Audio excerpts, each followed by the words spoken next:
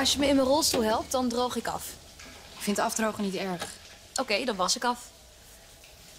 Nee joh, dat hoeft toch niet? Hé, laten we anders dat hele aqua-revalideren gewoon zitten. Dan gaan we gewoon lekker een beetje ontspannen in het warme water. Liever niet. Ik ben sowieso nooit echt een fan geweest van zwembaden. Lekker gedoucht? Heerlijk. Ja.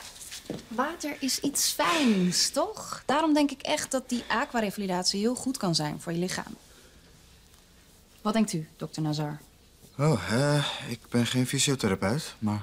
Nou ja, deze vorm van revalideren heeft heel veel voordelen. Bijvoorbeeld dat je gewichtloos bent in het water. Toch ja, je zei zelf dat je het zo naar vindt. Die zware benen die niets doen. In het water drijven ze, dus wie weet wat je vanuit ontspanning kunt bereiken, toch, Amir? Het kan sowieso geen kwaad. Het water biedt amper weerstand, waardoor je goed passief in kunt bewegen. Wat vind je zo spannend aan?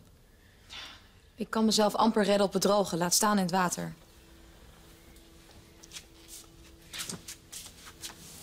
Maar vergeet niet dat je in het water zo licht bent als een veertje.